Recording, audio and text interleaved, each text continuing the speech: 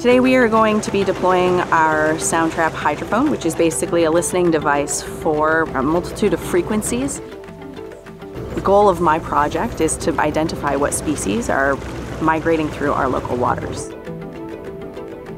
My students, Adele and Sophie, are actually fantastic. Uh, they're working on the project by starting developing the equipment, and then they put together our mooring design. We've tested the equipment together, and then they help deploy it.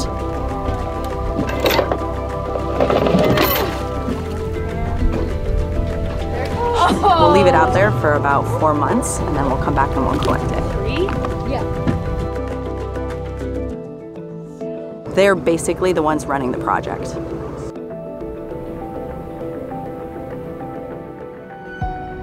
I've been interested in the ocean since I was really young. Something that surprised me is like how even mundane sounds kind of sound really exciting when you're picking them up on the hydrophone. You can hear a sea lion. She's like, oh my god, the sea lions are so loud. But you hear them underwater and you kind of realize, oh my god, they sound like that underwater too. And especially with the humpbacks and the gray whales, like kind of learning what they sound like and seeing it visually as much as like hearing it has been just absolutely very exciting. With like visual stuff and whale watching, you only get to see like a little bit. You only get to see what's on the surface.